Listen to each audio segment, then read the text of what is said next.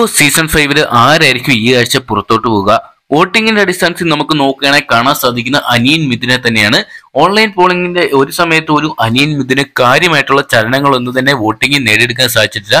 അതോടൊപ്പം തന്നെ big boss ഹോസ്റ്റിൽ നടത്തിയ ഓരോ ഗെയിംസിലും അനിയൻ മിഥുൻ വളരെയധികം പിന്നോട്ട് പോകുന്ന കാഴ്ച നമ്മൾ കണ്ടതാണ് അതുകൂടാതെ ഈ ആഴ്ച നടന്ന മറ്റൊരു സവിശേഷത എന്താ നോക്കുകയാണെങ്കിൽ ഓരോ നിമിഷവും അനിയൻ മിഥുന് പുറത്തു പോകണമെന്ന് പറയുന്ന ഒരു കാഴ്ചയും ബിഗ് ബോസ് ഹൗസിനുള്ളിൽ നിരവധി തവണ കാണാൻ സാധിച്ചിട്ടുണ്ടായിരുന്നു.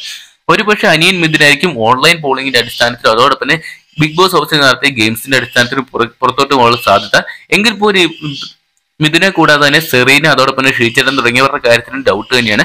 കാരണം നോക്കുകയാണെങ്കിൽ സെറീനയും മിഥുനും തമ്മിൽ ചെറിയൊരു വോട്ടിന്റെ വ്യത്യാസം മാത്രമേ ഉള്ളൂ. അതോടൊപ്പം തന്നെ ഷീച്ചറിന്റെ കാര്യത്തിലും അത്ര സേഫ് എന്ന് പറയാൻ പറ്റില്ല. മികച്ച വോട്ടുണ്ടെങ്കിൽ പോലും അഖിൽമാരുടെ ഒരു സപ്പോർട്ട് കൂടി ഒരു സേഫ് പ്ലെയർ ആയിട്ടാണ് ശ്രീചേട്ടൻ നിൽക്കുന്നത്. പിന്നെ മറ്റൊരു സാധ്യതയുള്ളത് റിനോഷിന്റെ കാര്യത്തിലാണ്. റിനോഷൻ ചില ഘട്ടങ്ങളിൽ പുറത്തോട്ട് പോകുന്ന ഒരു കാഴ്ച നമുക്ക് കാണാൻ സാധിച്ചിട്ടുണ്ടായിരുന്നു. കാരണം ഈ ആഴ്ച നടത്തിയ ഗെയിംസിലൊന്നും തന്നെ ഇവർക്ക് രണ്ടുപേർക്കും കാര്യമായിട്ടുള്ള ചലനങ്ങളൊന്നും തന്നെ സൃഷ്ടിക്കാൻ സാധിച്ചിട്ടില്ല. സുഹൃത്തുക്കൾ തന്നെ പുറത്തു പോകുന്നതായിരിക്കും. ഒരുപക്ഷെ ഡബിൾ എവിക്ഷൻ വഴി പുറത്തു പോകുന്നതും ബെറ്റർ ആണ്. സോഷ്യൽ മീഡിയയിൽ അല്ലെങ്കിൽ പ്രേക്ഷകരുടെ ഒരു അഭ്യർത്ഥനയുണ്ട്. എന്തൊക്കെയാണോ അനിയൻ മിഥുനായിരിക്കും ഈ ആഴ്ച പുറത്തു പോകുന്നതെന്ന് ഒരു തൊണ്ണൂറ് ശതമാനം ഉറപ്പായി കഴിഞ്ഞിരിക്കുകയാണ്. എന്തൊക്കെയാണ് അന്തിമ വിധി എഴുതുന്നത്? ബിഗ് ബോസും ലാലേട്ടനും തന്നെയാണ്. എന്തൊക്കെയാണ് ഈ ആഴ്ച നടന്ന കാര്യങ്ങളെല്ലാം ചർച്ച ചെയ്ത് തീരുമാനമാക്കിയതിനു ശേഷം അവസാനം ഒടുവിൽ ലാലേട്ടൻ ആരെയായിരിക്കും തിരിച്ചു വിളിക്കുന്നത് നമുക്ക് കാത്തിരുന്ന് തന്നെ കാണേണ്ടിയിരിക്കുന്നു. അപ്പൊ ഈ ആഴ്ച എവിക്ഷൻ വഴി ആരാണ് പുറത്തു പോകണമെന്നാണ് നിങ്ങൾ ആഗ്രഹിക്കുന്നത് കമന്റ് ബോക്സിൽ പങ്കുവെക്കുക. അതോടൊപ്പം വീഡിയോ ഇഷ്ടപ്പെട്ടെങ്കിൽ ലൈക്ക് ചെയ്യാനും ഷെയർ ചെയ്യാനും ചാനൽ സബ്സ്ക്രൈബ് ചെയ്യാനും മറക്കണ്ട.